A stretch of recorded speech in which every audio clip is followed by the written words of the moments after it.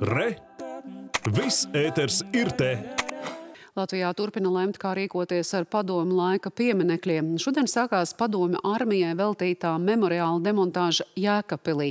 Tiek nojaukts postaments, uz kura atradās pazudušais lielgabals, kā arī blakus esošās stēles, kas veltītas deviņu padomju savienības varoņu piemiņai. Padomju lielgabala postamenta, kā arī otrā pasaules kara memoriālā esošo stēlu demontāža Jēkabpilī notika nožogotā teritorijā. Situāciju kontrolēja gan valsts policijas, gan Jēkabpils novada pašvaldības policijas pārstāvji.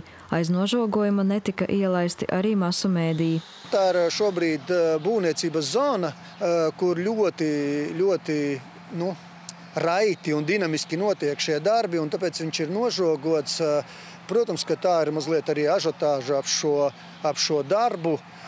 Tāpēc nu, šobrīd, kā jūs redzat, viss ir nožogots. Arī mēs neejam iekšā, jo tad ir jābūt atbilstoši, atbilstoši gan ekipētam, un, un gan arī nu, visiem drošības līdzekļiem ir jābūt.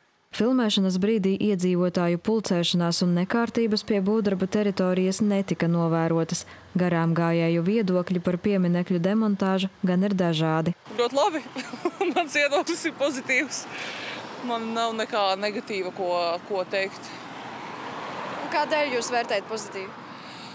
Nu, es uzskatu, ka um, ņemot vērā, kādi pasaulē notiek apstākļi šobrīd, ka šādām lietām nav jābūt Latvijā. Kā jūs vērtējat, ka demontē pieminekļus? Slikti vērtīja, jā.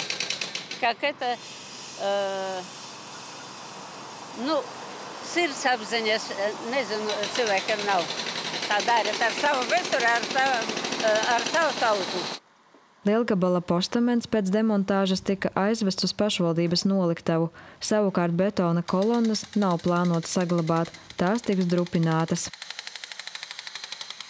Tas ir parasti betona gabali, tiem nekādas vērtības nav, bet tieši šīs bareliefa plāksnes, jā, ar to uzrakstiem, visas tās šobrīd tiek vestas uz noliktavu, lai pēc tam saprastu, vai nu mēs viņus atdodam muzejam, tas, ko muzejs mums ir atsūtījis un lūdzis, lai mēs varētu atdot viņiem, vai arī mēs taisīsim skiču projektu un liksim varoņu ielā, nu, tur, kur, tur, kur ir kapijā.